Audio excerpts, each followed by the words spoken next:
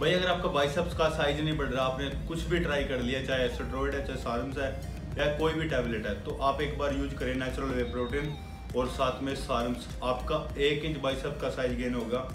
Total आपको दोनों चीज़ पड़ेगी छः हज़ार रुपये में। बेस्ट ऑफ़र है।